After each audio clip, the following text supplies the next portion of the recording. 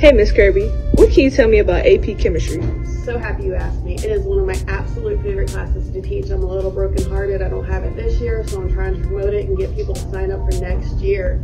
AP Chem, of course, is a college level class, so it is challenging. Don't be scared. It's a little, you know, up there, but I got you, and we're going to learn it together. We're going to take the concepts that you learned in chemistry, honors chemistry, up a little bit, prepare you for college, get you ready, learn some more new things, a lot, a lot of hands-on. We do a lot of labs, get you ready for that next level in your career or life.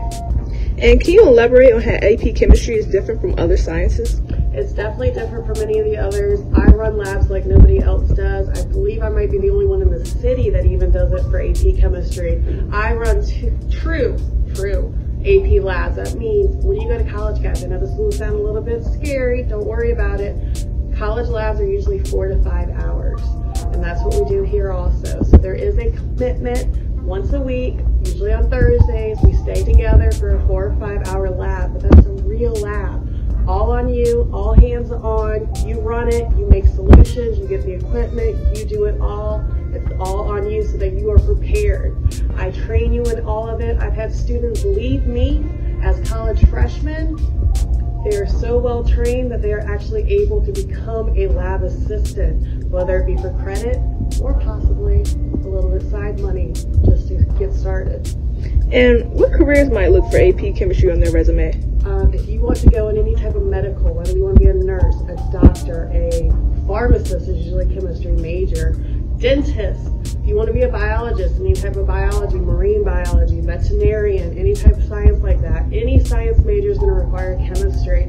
So much easier to take chemistry here. We're going to have a classroom much smaller than if you go to a major college where you can have up to 200 people in the same room. Chemistry is so challenging. I know it's challenging and that's why I want to emphasize coming here, have that one-on-one with me, get that help now, so that way you're ready to go when you get to that college level. All right. And I also hear that you take care of the kids that take your class. What do you mean by that? It's, as I said, it is challenging, so I do like to take care of my babies. I like to be there. That's why I said I do a lot of one-on-one with them, but I do have a promise. In AP, I curve grades because it's that challenging, but if you turn in every single assignment, I promise you that you will never have a grade lower than a C minus for me. That means you turn in everything, do all your work, try your best, your lowest ain't good enough, mommy and daddy ain't gonna be happy.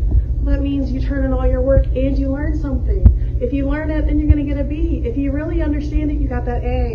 So I got you. So we're gonna learn it together. We're gonna take care of each other. All right, and how my students reach out to you? I'm in J11. I'm that hidden classroom. So if you come to the J Hall, I'm right there beside guidance. You're welcome to email me, shannon.kirby, Stop by, see me.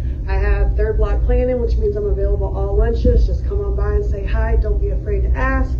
Happy to help you however I can, and I look forward. Don't be afraid. Sign up. I want to see you in chemistry.